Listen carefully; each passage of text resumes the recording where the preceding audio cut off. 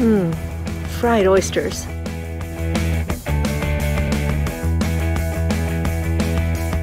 Fried oysters are not a climate change solution, but oyster reefs are.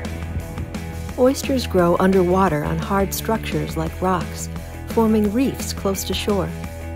These reefs act as natural breakwaters that reduce the energy of incoming waves. That protects people and property on the coast, which is especially important now as sea level is rising and we're getting more extreme storms. People are restoring degraded oyster reefs for better habitat and to protect the coast. Oyster reefs alone won't protect cities, but they're a smart way to take advantage of what nature already does so well. There's no perfect solution to climate change, and no one solution is enough. We need to take lots of different actions.